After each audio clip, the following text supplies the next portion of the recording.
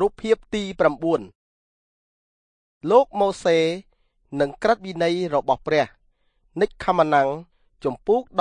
19ខ1ដល់ខ25និច្ចខមណាំងចំពូក34ខ27ដល់ខ32ពូជអំបូររបស់ក៏បានត្រឡប់ទៅជាសាសមួយដ៏ធំ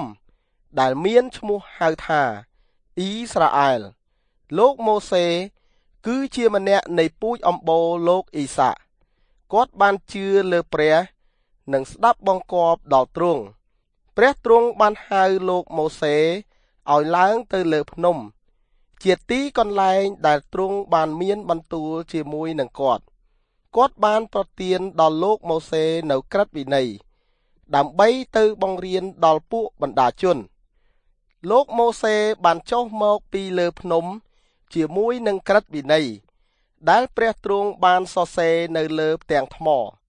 ព្រះទ្រង់សពប្រហារតីឲ្យគ្រប់គ្នាស្ដាប់បង្គាប់នៅក្រឹតវិន័យរបស់ទ្រង់